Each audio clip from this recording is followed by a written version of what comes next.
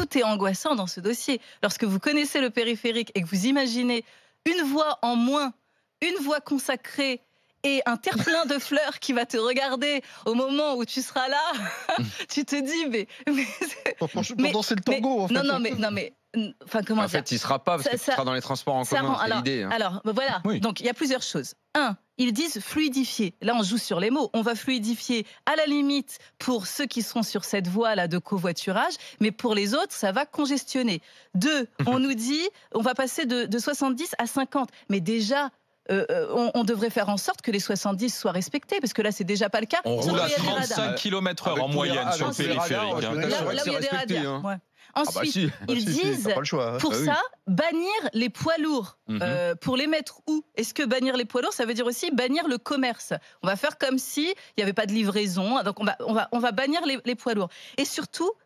Euh, Ah, mais tu, ils- tu- tu dis toi-même que c'est congestionné, que c'est aujourd'hui attends, 86. Et surtout, ils nous que disent. c'est engorgé. Alors comment ils imaginent ça en se disant c'est une transformation qui se fait sans les gens encore une fois parce Mhm. qu'ils se disent c'est simple vous allez prendre les transports mais moi je prends les transports Ouais. et les transports sont déjà Bondé.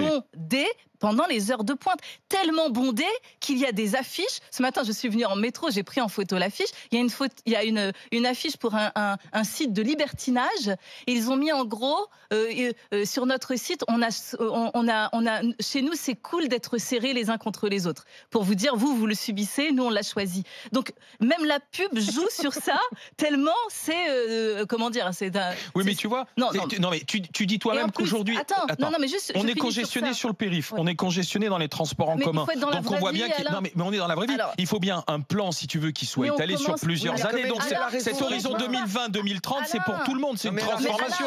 Je, finis. Je dis déjà, c'est saturer les transports. Et d'autre part, il y a des personnes qui ne font pas le choix de prendre la voiture. C'est une obligation de prendre la voiture. Je pense, Mm. vous- il y a une seule ligne qui est totalement accessible pour les fauteuils roulants. Ça veut dire aussi pour les poussettes, c'est une galère totale d'être avec une poussette dans, dans, dans, dans les, dans les transports en commun. Donc une Et maman qui préfère prendre d'ailleurs. sa voiture plutôt que les transports, je la comprends. J'ai été dans les transports avec ma poussette, on porte la poussette comme ça dans les escaliers. J'ai- Je suis quand même en bonne santé, je pouvais le faire. Mais des personnes qui sont en moins bonne santé que moi, je, je- je peux comprendre qu'elles fassent un autre choix. Et là, nous parler de ce joli terre-plein fleuri, alors qu'il y a des problèmes concrets qui se posent, je suis désolée. Ça va faire exactement comme le 80 km/h. En plus, ça m'énerve pour une chose, c'est comme le- pour le 80 km/h, on nous avance ça. On nous donne des arguments incontestables, soi-disant. Alors, par exemple, pour les 80 km/h, on nous dit Vous êtes contre, ça veut dire que vous êtes pour la mort.